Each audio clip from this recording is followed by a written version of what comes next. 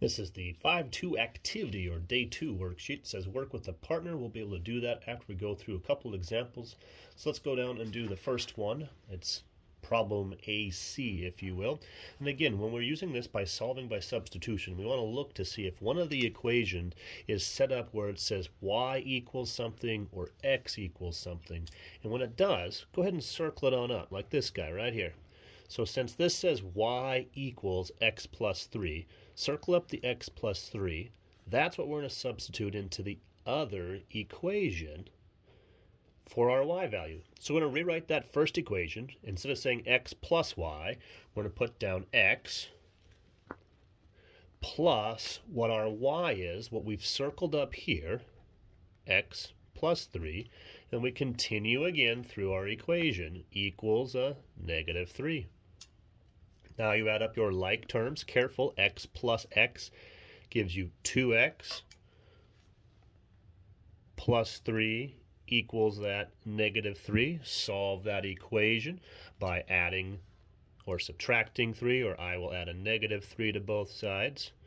So those cancel. You've got 2x equals a negative 6. Divide by 2, divide by 2, x equals a negative 3. Now again, I usually will circle it up. Don't box it up. You're not done. Now you need to take that and plug it back into one of these two equations. It doesn't matter which one you want to plug it into. You just need to plug it into and solve. Since we want to solve for y, I really like this equation right here because it's already set up as y equals. So I won't have to do any extra work. So please write on in that original equation, y equals x plus a negative 3. So then y equals our x value. It's a negative 3 plus 3, so y is going to equal 0. Caution now, when you put that together, your answer then up here is going to be a negative 3 for your x value and 0 for your y value, which means when you're looking up here in the puzzle, anywhere that you see a negative 3, you need to put the letter A in. So as you're scrolling on through, a negative 3, you put an A in, an A in, and you find all the negative 3's. Careful, just the negatives, not the positives. And you put all those A's there, and then that 0 is a C. So anywhere on this worksheet you find a 0, put in a letter C, and when you're done with that, if you spell a word that doesn't make sense, go back and check our work. Let's do uh, another problem here. Turn to the back side there on the top left, aka problem IL. Looks like that. So now, again, this one we're going to set up with substitution. We're going to just plug it on in. If something is set up with it where it says x equals or y equals, we're going to use that one. However, as per usual, Wherever we see subtraction, don't subtract, add the opposite. So since this one is set up with x equals something, please, while we're doing notes, circle it on up. And in the second equation, plug that in for our x. See, again, since this first equation had x, we plug it in here. So now we're going to take our 2 times everything that our x equals, so that's this up here, we need to plug in negative 9 plus a negative 2y. And don't forget to continue through. That's what 2x is. Then you got plus a, a negative y, which is a negative 1 I'm going to put in right away, equals a negative 13. So before we go too far, distribute this. So again, that's a negative 18 plus a negative 4y. Then you got plus a negative y equals a negative 13. And from there, then you can combine your like terms. That would be these guys here. So we're left with a negative 18 plus a negative 5y equals a, a negative 13. We're going to solve that guy by getting rid of the negative 18. To do that, add 18 to both sides. You're left with a negative 5y equals positive 5, and then from there, divide by a negative 5, y equals a negative 1. As per usual, don't box that up. Don't um, fi final answer. You can circle it if you wanted to. But now we need to take this negative 1 and plug it into either of these equations. It doesn't matter which one you pick. The choice is yours. However, I'm going to pick the one that I think is easier or less work. So since this says x equals, and that's what I'm trying to figure out, that's the one I'm going to use. So I'm going to take my x equals negative 9 plus a negative 2y. And from there, I'm going to plug it on in x equals a negative 9 plus a negative 2 times a negative 1. So be careful. These two here give you a positive 2, which means when you add them up, x equals a negative 7. So up here, again, the x value goes first, negative 7, and then the y value, is negative 1. And you just go back through, careful, with your negative sevens, not the positives, the negative sevens. Put in that I, wherever you see a negative seven, all the way through. And then for the negative ones, put in that L. Wherever you see a negative one, put in an L. Be careful that you're watching those signs. Let's do another one. So there on the back on the top right, let's do one that isn't set up in x equals or y equals. So when you're looking at that, first make sure you have all the adding the opposites taken care of. And then from there, you get your choice. Pick one and make it say y equals or x equals. Since I've got just one x, a coefficient of 1, or just plain x here, I'm going to take this guy, and I'm going to solve this one for x. So then that means, if I'm going to do that, I need to get x all by itself, so I'm going to add a negative 2y to both sides. So that way it says x equals, remember you can't add those two together, so that's a negative 2 plus a negative 2y. Now, now that I have that set up as x equals something, now I need to plug that into the other equation for my x value. Since this says x equals, that's why it's got to go in here for x.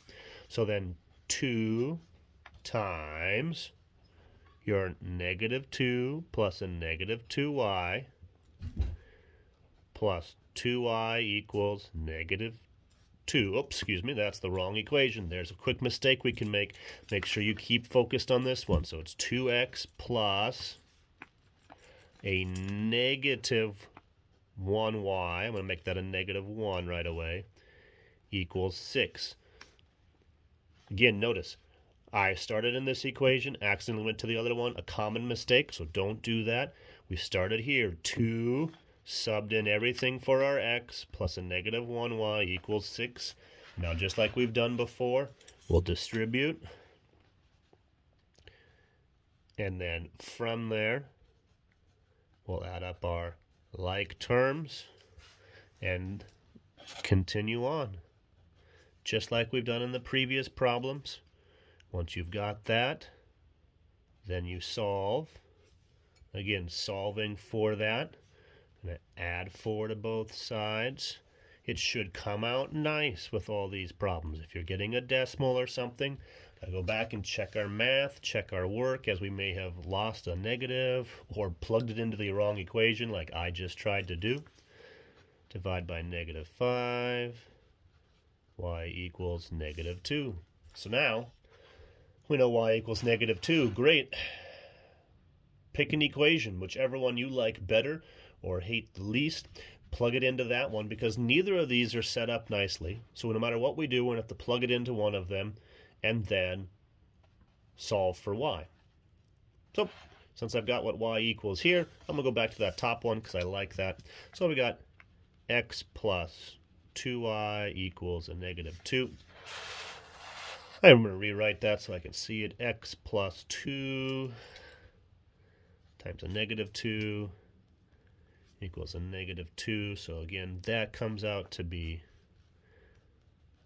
a negative 4. So to solve, I'm going to add 4 to both sides. Gets me x equals 2. So careful now. We've got x equal to 2 and y equal to negative 2. Once again, you can grab that. Now that you know that, wherever you see a 2, you can pl plug in a O. And as you continue through all that, then wherever you see a negative 2, you can put in the P. And then I just want to do one last one since it comes up sometimes as a question as I'm doing this video. Here we go. What happens if they're both set up as that? Well, then you pick one. Again, before I move on, I'm going to switch this to adding the opposite. Adding the opposite. Is one equation set up in y equals or x equals? If they're both, great. Pick one. I'm going to pick the top one. This one says y equals. Since we're doing notes, please circle it on up. And then from there, plug it into the other equation for y.